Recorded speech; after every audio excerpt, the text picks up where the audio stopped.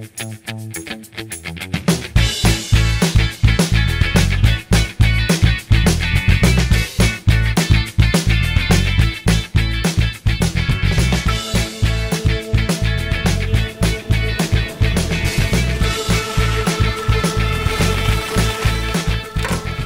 hier ist Marc. Die Mountainbike-Fahrtechnik-Serie geht zum Kurventhema. Ich kam schon um die Kurve gefahren und möchte euch jetzt Tipps geben, wie ihr das bergab, Kurven auf schwierigen Untergründen optimieren könnt. An Kurven werdet ihr nicht vorbeikommen. Sie warten auf jedem Trail, auf jeder Tour, auch im Bikepark. Deswegen sollten wir bewusst angehen, wie kann man das Kurvenfahren auf dem Mountainbike optimieren. Ganz wichtig ist zu betonen, das Kurvenfahren ist beim Mountainbiken anders, weil der Boden anders ist als auf Asphalt weil die Reifen anders sind. Da gibt es verschiedene Faktoren, die da den Unterschied machen. Das A und O beim Kurvenfahren ist die Blickführung. Ihr kennt den Spruch, man fährt dahin, wo man hinschaut.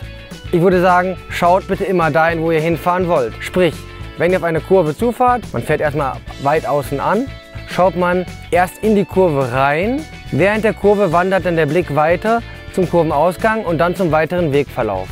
Wenn ihr dorthin schaut, wo ihr hin wollt, macht ihr das mit dem ganzen Körper. Wenn ihr nur mit dem Kopf nach links guckt, werdet ihr das Problem haben, dass euer Fahrrad nicht nach links mitfährt. Ihr müsst den Kopf, die Schulter, die Hüfte, die Beine, alles muss sich mit einer Rotationsbewegung mitdrehen, dass ihr quasi mit dem Körper dahin schaut, wo ihr hinfahren möchtet. Wenn ihr mit der Körperrotation richtig schaut, wird das Rad sich neigen. Ihr spürt den Sattel am kurveninneren Bein. Bei einer Linkskurve den Sattel im linken, am linken Bein, einer Rechtskurve am rechten Bein. Das nennen wir den fünften Kontakt.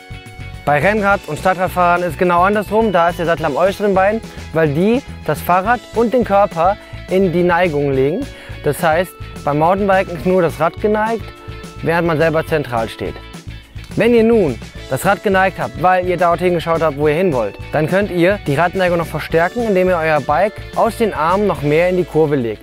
Sprich, der innere Arm wird gerader, der äußere Arm beugt sich mehr. Wir werden nicht einlenken, sondern neigen das Rad noch mehr. Ganz wichtig, natürlich ist nicht jede Kurve gleich. Es gibt verschiedene Kurven, deswegen sollte man auch angepasst verschiedene Kurventechniken variieren können. Zum Beispiel ist es so, dass man das Kurvenfahren erstmal lernt mit waagerechten Kurbeln, das ist die Basistechnik.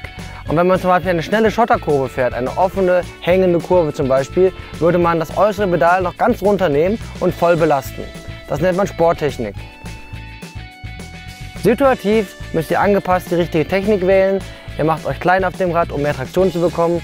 Und die Basics des Kurvenfahrens könnt ihr nachher auch in verschiedenen Kurven anwenden, zum Beispiel Anliegerkurven im Bikepark oder auch enge Kehren im Gelände. Wenn ihr das studierte Bremsen geübt habt, könnt ihr es ideal anwenden bei Kurvenfahrten, weil die Kurven durch besonders Reizen gehen in der Regel bergab. Sprich, man muss auch vor der Kurve das Tempo reduzieren, dass man nicht erst mitten in der Kurve anfängt zu bremsen, da kann die Räder wegrutschen und man verliert auch den Fahrfluss. So, meine Kurventipps habt ihr jetzt alle gehört. Geht es spielerisch an, fahrt um die Gullideckel, nehmt euren Rucksack und übt die Kurven, dann werdet ihr merken, das geht schnell in Fleisch und Blut über. Ich freue mich auf das nächste Video. Wir sehen uns. Bis dann.